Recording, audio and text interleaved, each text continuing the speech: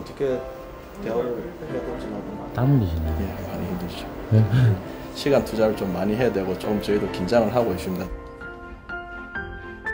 그런데 여기 서로의 이야기를 들을 수 있게 도와주는 한 사람이 있습니다. 청각 장애인의 귀와 입이 되어주는 이 사람.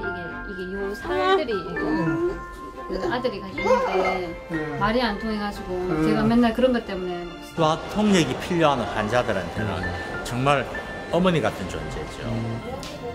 서로의 마음과 마음을 손으로 확인하고 이런 말들을 알 수 있다고 하는 어떤 소리 청각 장애인들의 소리가 되어주는 존재 의료 전문 수화 통역사 오은정 달인입니다.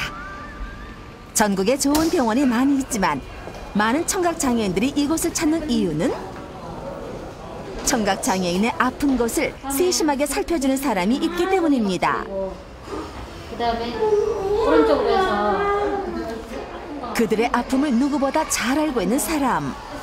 정확하게 지금 하시는 직업이 그럼 어떻게 되시는 거예요 지금? 저요? 예. 수화 통역. 청각 장애인분들이 내원했을 때그 정확한 진단을 받고 그에 맞는 처방을 하고 그런 과정을 다 통역해주고 중간에서 제가 그런 수화 통역을 하는 게 제 역할이죠. 수화 통역사인가요? 예, 수화 통역사. 그때 관절이 아픈 청각 장애인 환자가 내원했습니다. 아파요? 아파? 간단한 진찰에도 견딜 수 없을 만큼 아프다는 표정을 짓는데요. 아파. 과연 그녀는 어디가 안 좋은 건지 의사에게 잘 전달됐을까요?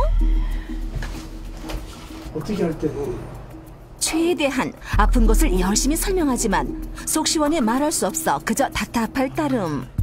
이 모습을 지켜보는 의사도 답답하긴 제가 잘 마찬가지인데요. 모르겠어요. 무슨 말 설명하는지 잘잘 와서 오정은 씨죠? 네, 저 지금 네.